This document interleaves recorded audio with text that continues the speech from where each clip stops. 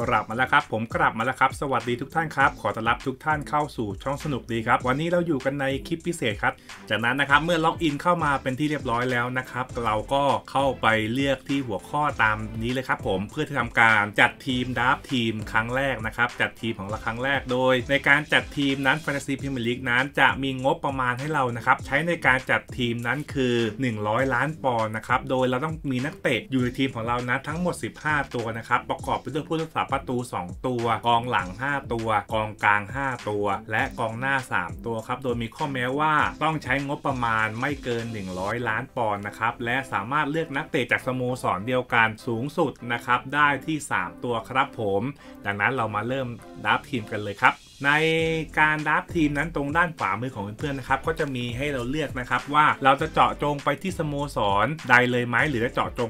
ที่นักเตะเลยนะครับ เช่น เจาะจงว่าอยากจะสนใจนักเตะของสโมสรนะครับแมนซิตี้แล้วก็กดเข้าที่แมนซิตี้ได้เลย หรือเราจะดูค่าว่าเจาะจงคัดมาเฉพาะนักเตะในตำแหน่งกองหน้าอย่างเดียวนะครับรายชื่อก็จะขึ้นเป็นนักเตะกองหน้าอย่างเดียวนะครับโดยที่ระบบค้นหาเห็นไหมเพื่อนๆตรงนี้ครับตามหัวข้อนี้เลยก็คือจะเรียงรายชื่อจากนักเตะที่ทำคะแนนสูงสุดเมื่อฤดูกาลที่แล้วครับด้านหลังนี่คือ 242 คะแนนคือแฮร์รี่เคนครับเมื่อฤดูกาลที่แล้วนะครับ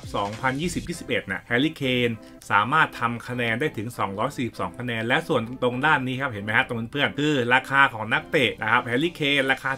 12.5อ่าถ้าเราสนใจจะเลือกแฮร์รี่เคนเราก็กดไปครับนะแฮร์รี่เคนก็จะเข้ามาอยู่ในทีมเราเป็นตัวที่ 1 เงินนะครับเห็นไหมฮะเดี๋ยวผมย่อลงหน่อยแล้วกันนะเพื่อนๆจะได้เห็นภาพรวมทั้งหมดอ่าโอเคครับเงินก็จะลดไปดังนั้นนะครับเราก็ต้องบริหารจัดทีมนะครับนะถ้าเราเลือกนักเตะนะครับดังๆ ตัวราคาแพงๆมากๆเงินก็อาจจะไม่พอ ดังนั้นก็เลือกตามชอบเลยครับผม แล้วก็ตรงเครื่องมือค้นหานี้จะมีอีกส่วนตัวหนึ่งนะครับที่น่าสนใจก็จะมีหลายหัวข้อ เช่น อ่าอันนี้ครับตัวนี้ครับคือเปอร์เซ็นต์ที่มีคนเลือกนะครับนะนักเตะคนนี้เข้าสู่ทีม เป็นจำนวนกี่เปอร์เซ็นต์จากนะครับผู้จัดการทีมทั้งหมดที่ทำการสมัครและเลือกเข้าสู่ทีมนะครับเนี่ยเห็นไหมฮะจะมีขึ้นนักเตะตำแหน่งกองหน้าที่คนเลือกเข้าสู่ทีมมากที่สุดอย่างวักกินฮะ ราคา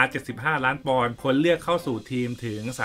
33.4%ครับ อย่างนี้เป็นต้นครับ แต่สุดท้ายแล้วก็เพื่อนๆชอบนักเตะคนไหนก็เลือกเข้าสู่ทีมได้เลยนะครับนะดังนั้นเดี๋ยวผมจะเลือกนักเตะเข้าสู่ทีม ช่วงนี้นะครับเราสามารถที่จะเลือกนักเตะแล้วเปลี่ยนนักเตะเข้าเปลี่ยนนักเตะออก ได้เรื่อยๆนะครับจนฝ่าจะถึงนะครับนะจนฝ่าจะถึงการแข่งขันคู่แรกนะครับที่จะแข่งขันกันนะครับเปิดฤดูกาลพรีเมียร์ลีกในวันที่ 14 สิงหาเวลาตี2นะครับนะเมื่อหลังจากนั้นแล้วเราก็จะไม่สามารถเปลี่ยนตัวเข้าออกได้ตามใจชอบแล้ว เพราะว่าเขาจะมีโคต้าให้เราใช้ในการเปลี่ยนตัวนั้น 1 สัปดาห์จะเปลี่ยนตัวฟรีได้ 1 ตัวนะครับถ้าเราเปลี่ยนตัวมากกว่า 1 ตัวจะลบคะแนนทีละ4นะครับเดี๋ยวผมจะพูดในหัวข้อกฎกติกาเพิ่มเติมต่อไปตอนนี้ ผมขอเล่นนักเตะเข้าสู่ทีมกันก่อนครับ ขอบคุณเพื่อนนะครับที่ติดตามรับชมนะครับ หวังว่าคลิปนี้คงมีประโยชน์กับเพื่อนๆไม่มากก็น้อย แล้วก็ยังไงก็ฝากกด subscribe กดไลค์กดแชร์สนับสนุนช่องสนุกดีนะครับ ให้ทำคลิปดีๆอย่างนี้ออกมาเรื่อยๆนะครับ แล้วพบกันใหม่ในคลิปต่อไป สวัสดีครับ